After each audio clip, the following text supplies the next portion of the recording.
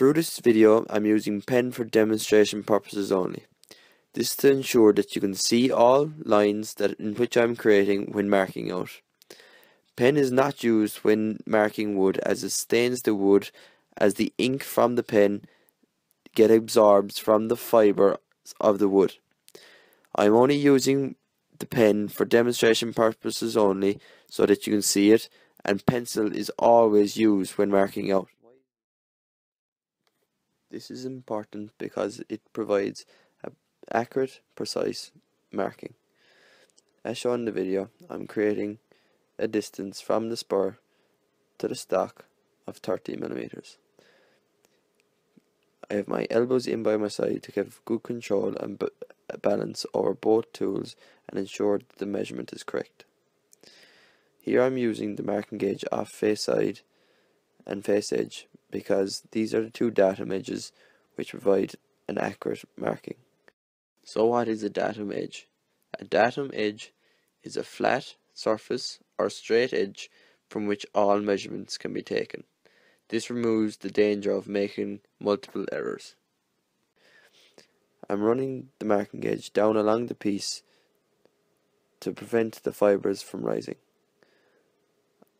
This marking is at 30 millimeters from the edge.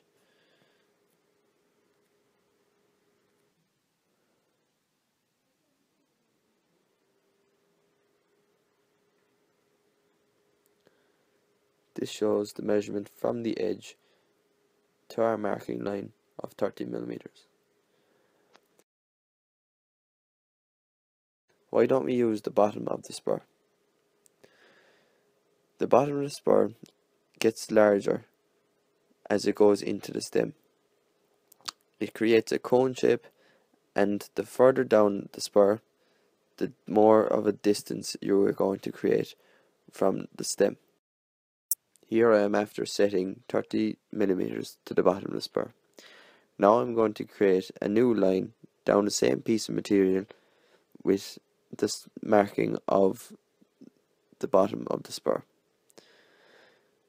Here shows the distance between the two lines which were marked with the bottom of the spur and also the tip of the spur.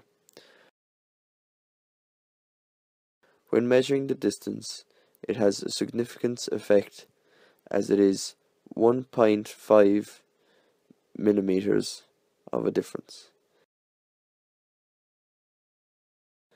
This really affects the accuracy and the preciseness of your marking out and will really affect the processing procedures as you develop on throughout this project. This is why it is important to measure to the tip of the spur and not the bottom of the spur because the bottom of the spur is larger than the tip and affects the preciseness and accuracy of your measurement. Why is it important to double check your measurement? It is important to double check your measurement always because the stock has a tendency to move when you're tightening it, when you're just uh, tightening the adjustment nut. For instance, in the video, I'm marking 30 mil to the top of the spur and when I tighten the nut and double check my measurement the measurement has gone down to 28 millimeters. This is why it is extremely important to double check your measurement and ensure before you start marking out that your measurement is precise and accurate. Always double check your measurement and ensure that the marking is 30 millimeters as shown.